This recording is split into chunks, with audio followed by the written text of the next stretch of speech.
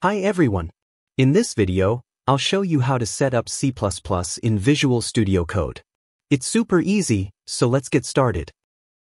First, we need to download Visual Studio Code. To download it, go to code.visualstudio.com. Just click Download. It will automatically detect your operating system. For me, it shows Download for Windows. If you're on Mac or Linux, it will show the right option for you. Once downloaded, open the installer. Accept the agreement and click Next. Keep clicking Next and check the box for Create a desktop icon. Click Next again, then click Install.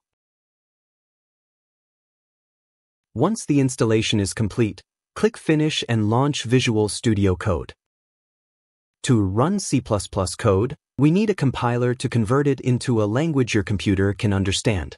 We'll use GCC. To download it, open your browser and go to msys2.org. Now, scroll down and click here to download it. Once it's downloaded, open the installer and click Next. Now, click Next twice to begin the installation. Then, click Finish to launch the terminal. In the terminal, copy and paste this command. You can find it in the description below. Then, press Enter. If it asks for a selection, press Enter again. Then type Y and press Enter to confirm. Wait until it finishes. Now you have the compiler. After the compiler is installed, close the window and move on to the next step. Now, we need to tell Windows where to find the compiler. First, open this PC. Next, double-click on Local Disk C. Then, open this folder. Open this folder again. Now, open the bin folder. Finally, copy the folder path. To do this, click the address bar at the top. Now, right-click and select Copy.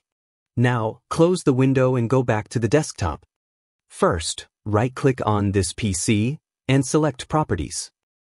Next, click on Advanced System Settings. Then, click the Environment Variables button. Under System Variables, select Path and click Edit. Now, click New and paste the path you copied. Finally, click OK on all the windows to save your changes. Now let's test if the compiler was installed correctly. First, close this window and open Command Prompt. Then, type this command and press Enter. You should see version information, which means it's working. Also, try the following commands one by one.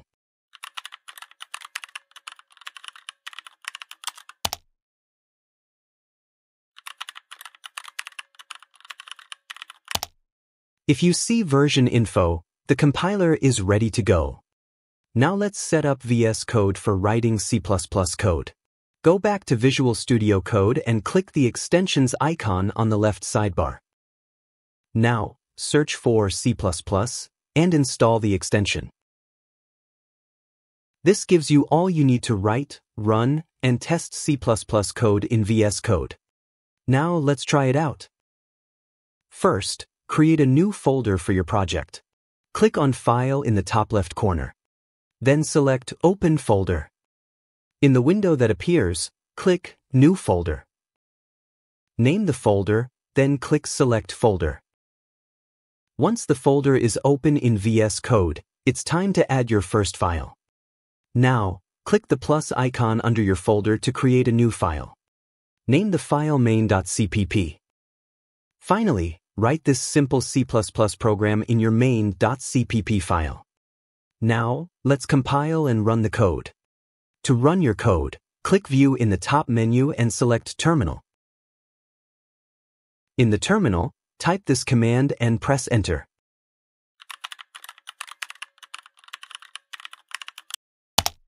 This will compile your code and create an executable file called main. Next, Run the program by typing dot slash main. Then, press enter. Finally, you'll see this output. And that's it. You've successfully set up C++ in Visual Studio Code and run your first program. If you found this tutorial helpful, don't forget to like the video, subscribe, and hit the bell icon so you never miss out on more easy tech tutorials. Thanks for watching. See you in the next one.